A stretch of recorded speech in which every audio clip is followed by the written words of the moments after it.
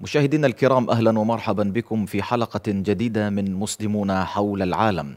واستشهد شاب فلسطيني فجر الجمعة متاثرا بإصابته برصاص قوات الاحتلال الإسرائيلية وفق ما أكدته وزارة الصحة الفلسطينية التي نقلت عنها وكالة وفا الرسمية وقالت إن الشهيد يدعى لطفي إبراهيم لبدي ويبلغ من العمر عشرين عاما من بلدة اليامون في جنين كان قد أصيب برصاص قوات الاحتلال قبل أيام وأصيب الشاب الشاب يوم الاثنين الماضي في رأسه خلال مواجهات اندلعت في بلدة اليامون مع قوات الاحتلال التي أطلقت الرصاص الحي على الفلسطينيين. ودخل الشاب منذ إصابته لغرفة العناية المركزة وغرفة العمليات في مستشفى ابن سينا في جنين إلى أن أعلن عن استشهاده فجر الجمعة.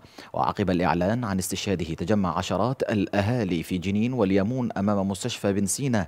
ونقل جثمان أش ونقل جثمان الشهيد من المستشفى المستشفى إلى بلدة اليمون وسط هتافات غاضبة من الفلسطينيين وتشهد الضفة الغربية توترا ملحوظ منذ بداية الشهر الجاري حيث يشن جيش الاحتلال الإسرائيلي حملات قمع واعتقال وتفتيش واسعة وانتهاكات جسيمة.